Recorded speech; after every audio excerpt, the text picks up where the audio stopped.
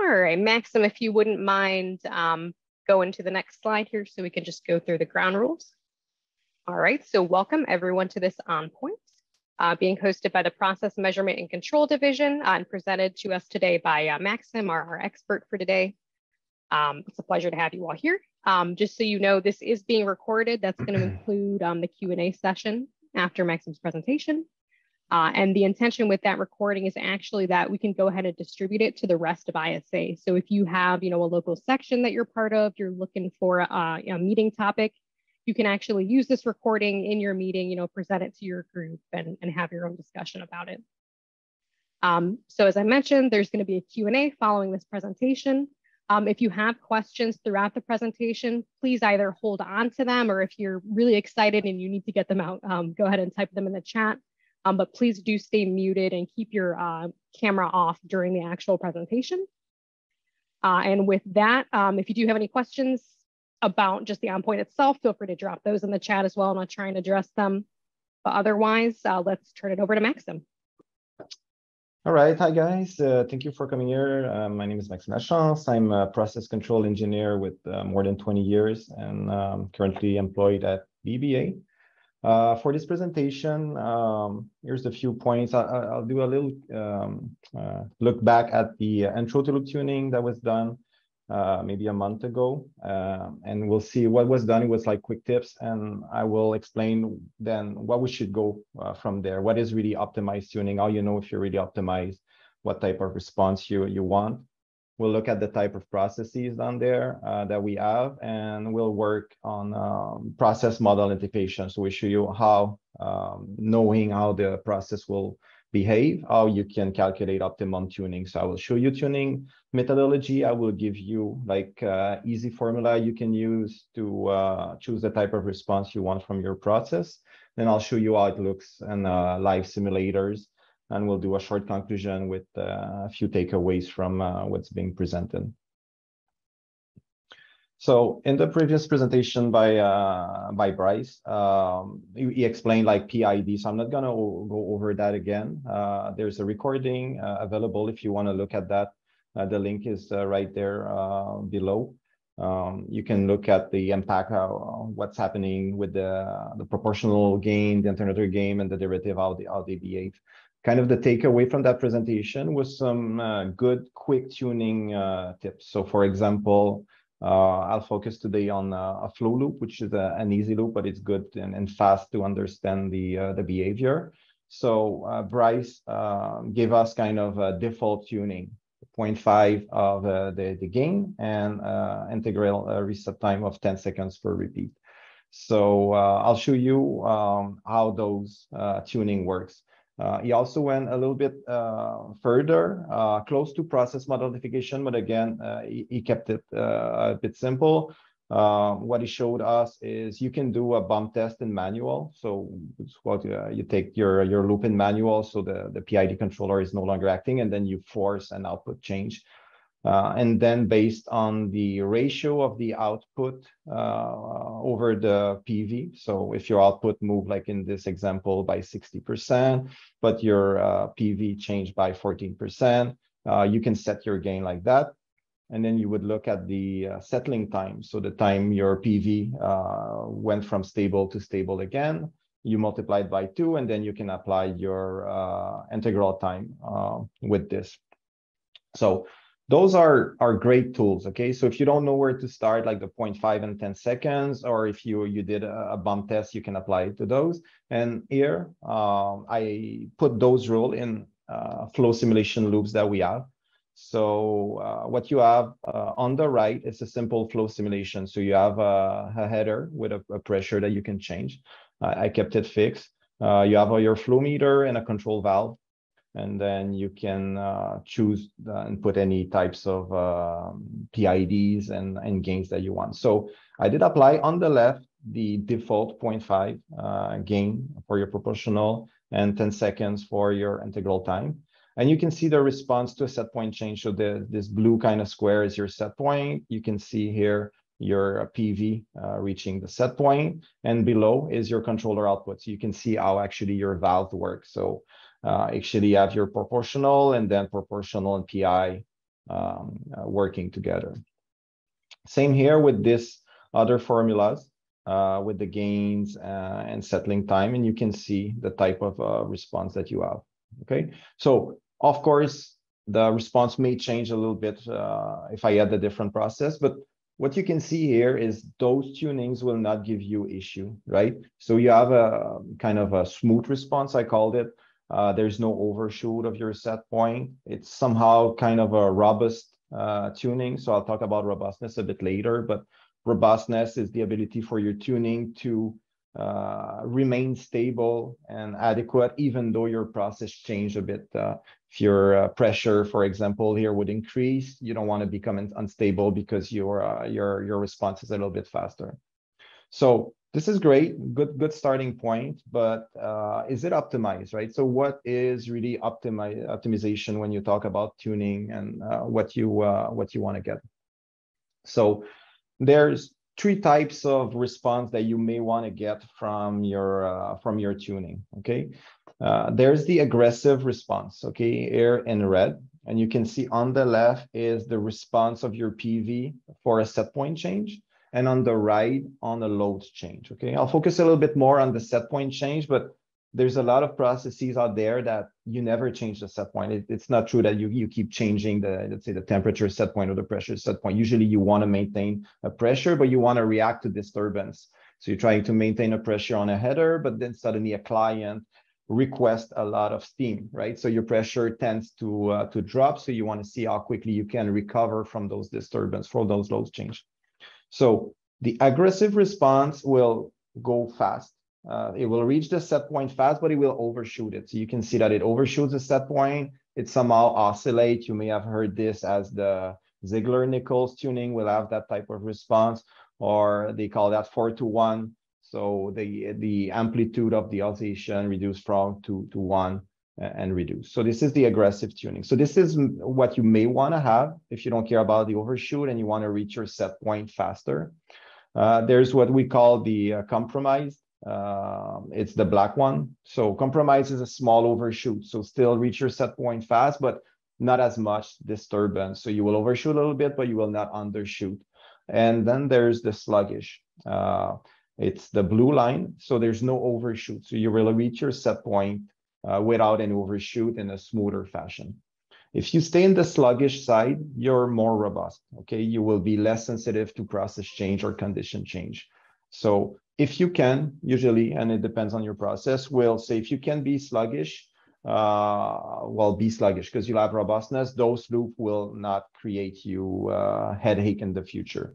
Uh, if you really, when you push it, sometimes you have to, then it, it, may be sensitive. So you may have to retune and readjust based on uh, on different uh, different conditions.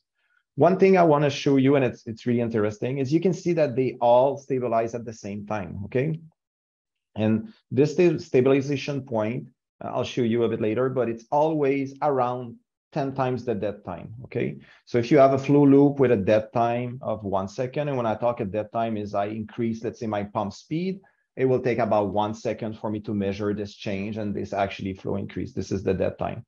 So uh, it's a good thing to know because it's a good uh, rule of thumb because if you have uh, i'll take a temperature loop which are, are known to be slow where the dead time is five minutes and then if the operator or anybody asks you to see uh, why can you stabilize the loop in uh, 10 minutes well it, it's impossible you will not be able to stabilize your loop faster than about 10 times the dead time so if it was five minutes dead time then it will be about 50 minutes the fastest you can reach uh, your stable point. You can take different routes to reach there. You can be aggressive, you can use a compromise, but you always stabilize at the same time. So this is the type of response you, you want to have. So you won't really know if you're optimized until you reach that, that kind of zone. Because if I go back, you can be as sluggish as you want. You can have a tuning so slow that it will stabilize like 100 times the dead time, and that's possible. But the optimization range is the one that is shown here. So how you you get there, right? The, those quick tuning tips are good for you know a smooth and stable response. So the best way to do that is to know how your process will uh, will respond. So if you can model the response of your process, then you can calculate your tuning. So that's why process model identification is key to be able to, uh, to do your tuning. So there's three types of processes, the self-regulating, non-regulating, integrating, and runaway. Runaway is usually chemical reaction, produce heat, more reaction occurs, and then it, it, it runs away. Uh, self-regulating is like a flow, temperature, pressure. You change conditions, so you go from stable to another stable, and that's the one we'll focus today. And then there's the non-self-regulating, uh, which we call integrating process. Uh, like uh, usually it's levels in a tank. So you're adding flow, but you're pumping flow out. So if you change the equilibrium, well, it will not stabilize again. It will either deplete or, or, or fill up. Those are uh, not covered today, but other type of processes.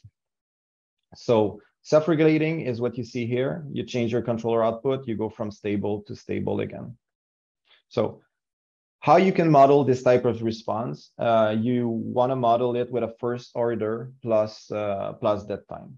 So uh, this is what you you have when you do that. And when you do that, the test, it has to be in what we call an open loop. So you take your loop in manual. So the controller is not in the equation. So you're in manual, you, you keep your output at a fixed, let's say a valve opening as a fixed set point, and then you do a change.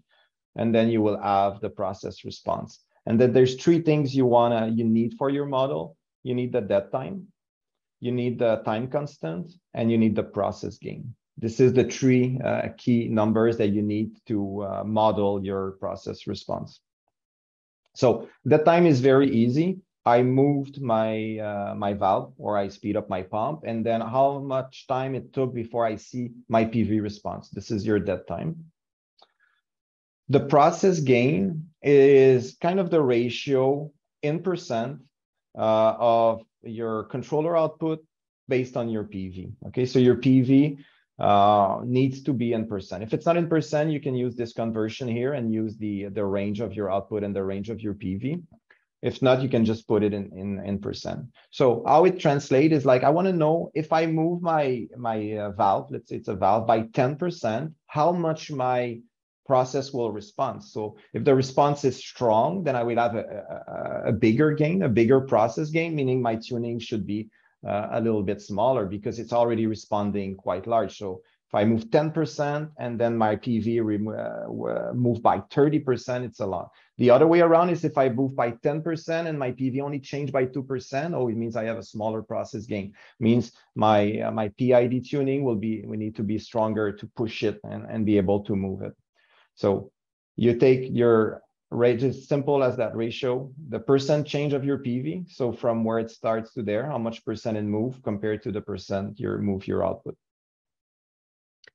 The time constant, uh, it's uh, basically it's how you calculate it. It's simple. You take the the full range of your change on your PV and you look the time it took from the moment it moved to the moment it reached 63.2% of the change. Okay, so if I move from zero to 100%, I'll make it very easy. I will look here, I will bring it to 63%, and I will calculate how much it took to go from here to reach the 63%, and that's your, your time constant. So we'll do a short example with, uh, with some data. Um, here it says on the left, my I move my controller output from 70 to 64. So you see, I'm closing. So I made it on purpose that it's it, it's going down this time, but it's the same response. It's just like a mirror. Okay, so you can do it going up or going down. You don't have to be go up. And then my PV changed from 40 to 34 inches. Okay, so I made it on purpose that it's not percent, right? So you real you always need to work in percent when you do your gain. So here I have the information that my transmitter span is 0 to 50 inches, right? So I will first look at the dead time here. Okay, I move my valve at this at this moment here, and then it took about two seconds to start moving. So I have my dead time, the first number I want. Then if I look at my process gain, which is the formula on the left, is the change of PV in percent. So I know I move here six inches, but I cannot put six here because I want it in percent. So six inches out of the span, how much percent is this? It's equal to 12%. So I know my PV moved by 12%.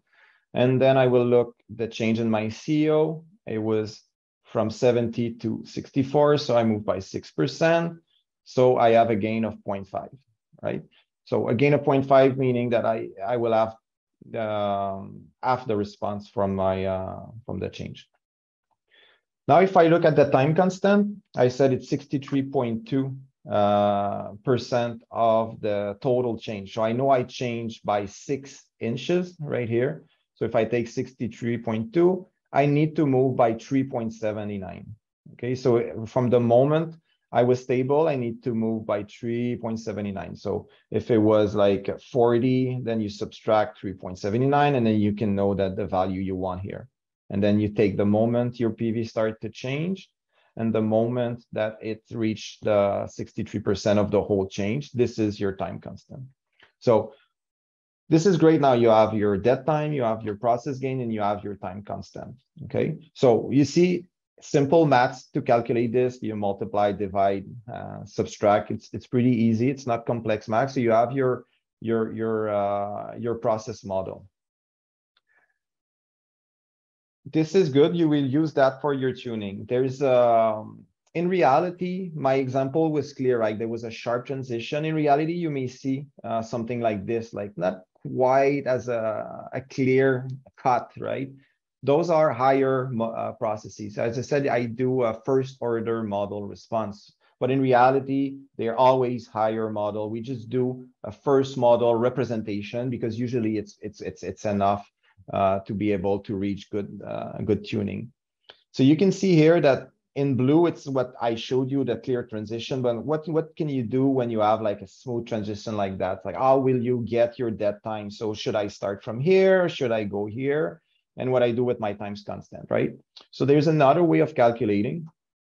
They call it the two-point method. So if your your transition, if your process is a bit noisy and it's not too clear where where you're sitting here, so you can do this one. So it's just this transition, this mid transition is, is, representative of the first model, the first order. What you see here is the higher order kind of playing a little bit with this transition.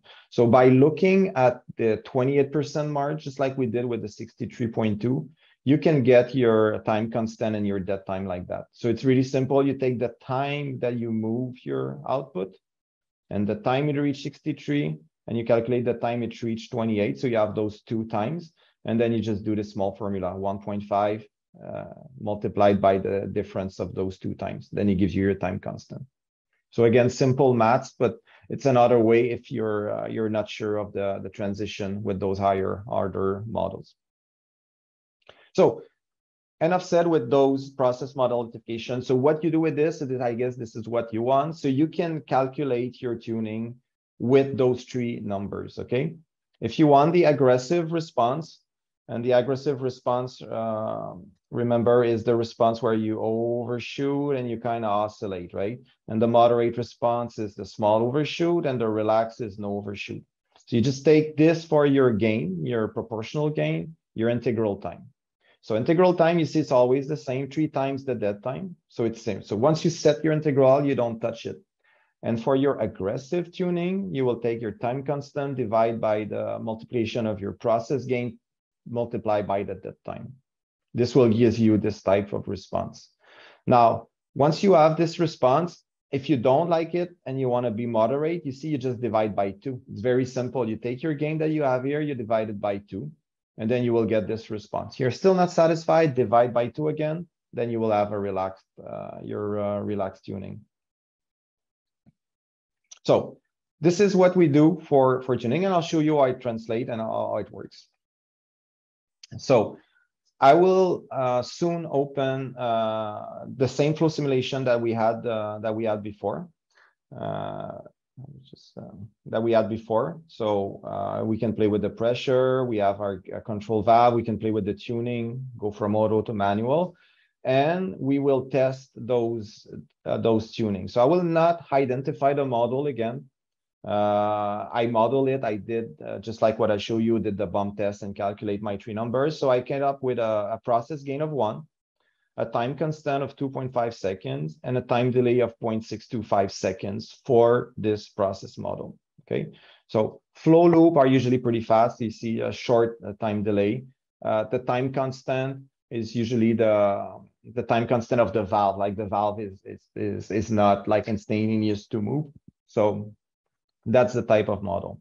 So now if I go in my chart here and I apply those calculation and I calculate my gain and my uh, integral time for aggressive, moderate, and relax, I end up with those those tuning and we'll see how it looks. So with this type of tuning aggressive, I'm expecting this response. With the moderate tuning, I'm expecting a slight overshoot. And with the relaxed tuning, I, I should not have any, uh, any overshoot. So let's look at this uh, flow simulation. So I will I will just start the flow simulation. So what you have here on the left on the top, uh, in like the one that's moving a lot, the blue is your process value with a bit of noise, but it's just, it's automatic zoom, right? So it's no zooming on small noise. And I'm in automatic with a set point of 20 liters per minute, so I'm okay. And you can see my valve here is working a little bit based on the, the current gain, trying to maintain this 20. My pressure is stable.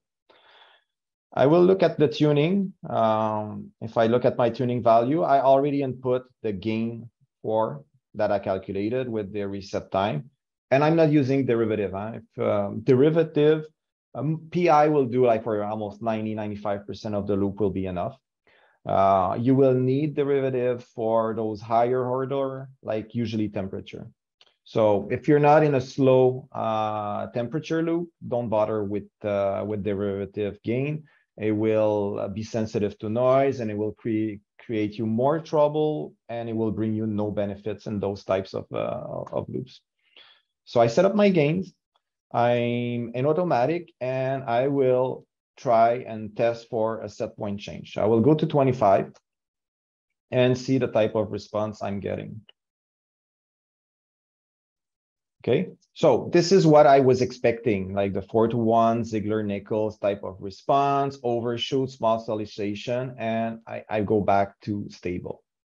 Okay, so if I'm not happy with this, as I said, it's pretty easy. Once you had your model and you set up your integral time, I keep the same uh, reset time, the same integral time, and I just cut into my gain. So I go from four to two.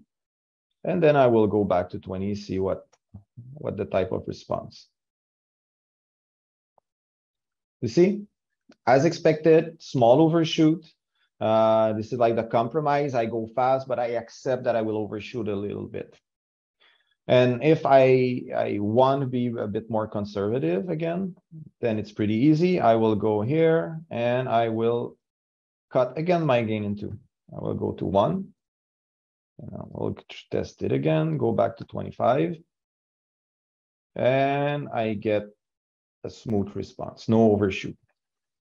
Okay, I will pause the simulation. Okay, it's hard to see, but you see stabilizing about here, stabilizing about here, stabilizing about here, just like I explained, you will reach stable about in about the same time, right? Regardless the, the route you, you, you take. And remember, it's 10 times the dead the, the time, your stabilization uh, time. So you cannot do better. Okay. So those fast loop, uh, usually there we slow them down a little bit to get robustness. And I will show you what, what robustness is about soon. Uh, but um, it, it really helps you get away from the misconception for those slow loops that you could do better.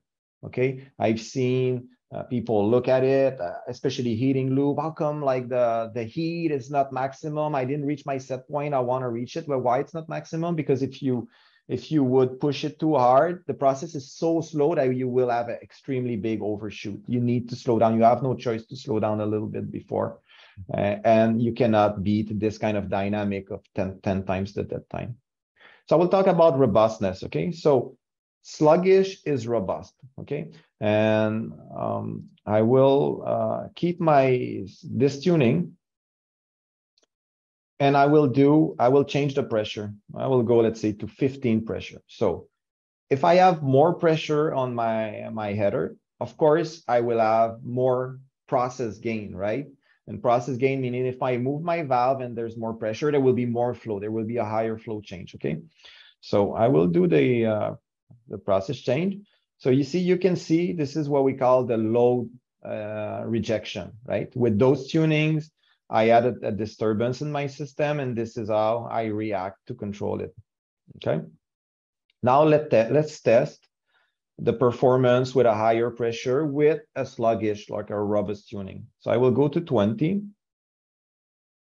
See slight overshoot, but not too bad, right? But my process gain change, right? I put, say 50% more pressure, but I, I was still okay. It did not throw off my tuning. I don't have the exact same response as before, slight overshoot, but it did not create any issue.